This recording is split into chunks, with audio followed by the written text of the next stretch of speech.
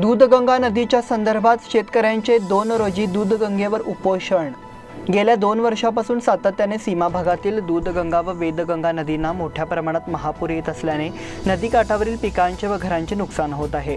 दूधगंगा वेदगंगा काठावरील सुमारे तीस गावातील शेतकऱ्यांबरोबर गोरगरीब कुटुंबांना मोठा आर्थिक फटका बसत आहे.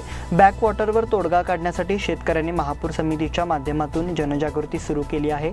याचाच एक भाग म्हणून या समस्येबाबत जिल्हाधिकारी यांच्या मार्फत मुख्यमंत्र्यांना निवेदन देण्यात आले आहे.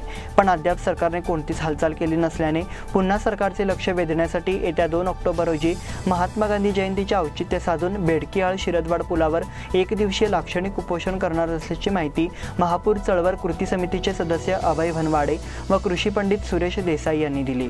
बेडकीहाळ येथे साहित्य संस्कृती आणि शेती विचार मंच व महापूर चळवळ कृती समितीच्या वतीने आयोजित पत्रकार बैठकीत माहिती दिली. अध्यक्षस्थानी प्रकाश पाटील होते.